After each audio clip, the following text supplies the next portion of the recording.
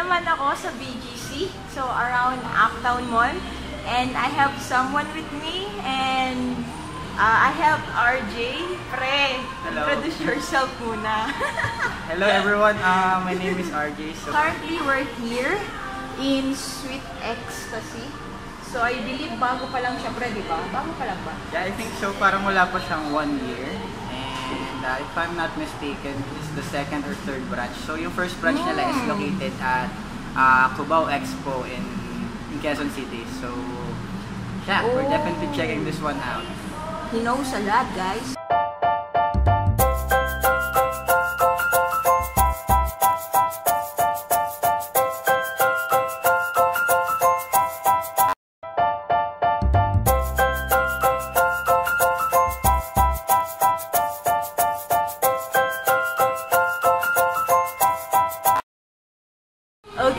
Andito na yung dito na yung food namin. O, di ba Yeah, what mabilis? we've been waiting for. 10 minutes lang. Ay, wala pang 10 minutes, Yeah, wala pang 10 no? minutes. So, So, we have here fries, ah, exclusive fries. Tama ba, pre? Ah, yeah, ecstasy fries. uh, Ayun. Think This is mm, around, around 180 pesos. Uh, Okay. So that's their, I think that's their best seller price. If not, I'm not ooh, okay. Then we have here the cheeseburger. Yeah. So, Uh, hati kami, syempre. So, let's, anong unahin natin yung fries price muna as appetizer. Game. Okay. So Kamay na natin yan. Begin.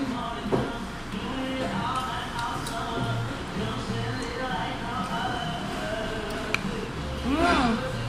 Mayo mixed with ketchup. Yeah, I think tomato ketchup. And then, ano tong mga ano? Ah, may onion. Mm. So it says on their uh, menu that uh, excessive fries is the ingredients of the excessive fries is uh, the fries itself, uh, tomato and uh, mayo dip, and uh, caramelized onion. So May cheese. yeah, I think No? also as a cheese sauce. Ayun, yung cheese sauce. Parmesan. Yeah. Sarap niya. Mm. So okay, saktong-sakto yung pagka-caramelize sa kanya. 130. So, kung dalawa kayo kakain, divide nyo lang. So, worth it pa rin. I think. Mm. Right? Yeah. Sulit pa rin naman siya depende ano. Yeah, yeah. Sakto sa ano na. Mm-hmm. Sa taste saka sa value na. So, sulit. Ganda. Okay, let's dig in sa burger naman. Though, ang medyo medyo dry at first, I think. Mm. So, Parang ito. dry siya. Ito yung side ng burger nila. So, ayan. So, this Cheers. is worth Ah, 190? to- No, uh, 250. OMG, kinda mahal siya. okay, cheers, pre. Game.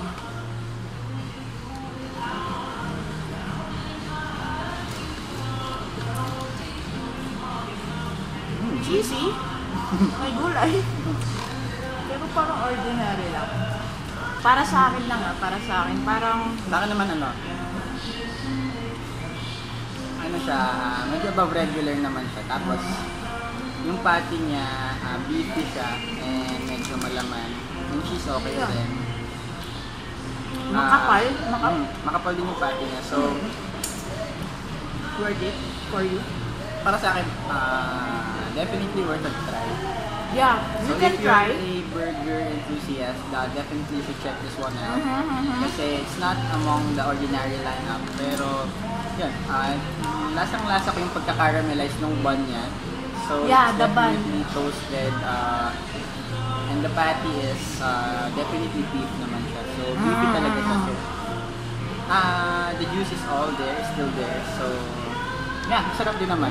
And there's a grilled uh, flavor on it. Like, makikita nyo talaga na may pepper dripping sa mismong burger.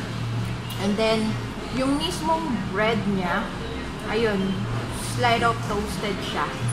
So, yeah, worth the try. Siyempre, mas masarap kapag isabay niyo yung fries. Ah, tama. Diba?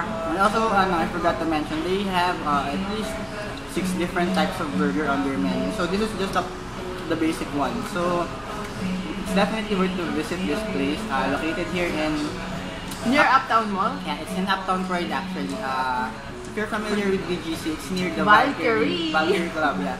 So after or before club, you can, you check the, Are there place. 24 hours ba? No, I think they're just uh, up until they're just open up until 12 in the midnight. Mm, But okay. on week- weekends and Fridays, uh, I think they're extended. They extended it the time. Yeah. And the word itself, ecstasy daw. oh. Kala mo kung anong meaning, you know. They also have like kamote fries for those who are uh, on a diet and avoiding potato. so there's kamote fries. Yeah, I think it has higher fiber than potato and definitely a local product. So it's worth a try also. Yeah. Well, on my end, bottom line, overall, worth a try. So you can check it out if you're here in BGC and you're looking for something American. you can try this with a much of a fries.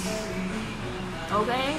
So that's all for today. So maghanap pa ako ng maraming uh, resto and cheap foods here around BGC and hopefully my friend RJ could help me introduce to more foods and you guys could also recommend and to join us as well very soon. Mm. So Don't forget to like and subscribe to Yeah. this channel and drop a comment on the comment section if you're Yeah. familiar with other menu from Fifth Ecstasy or if you like any other burger joints that we should check out. So Yeah. stay tuned.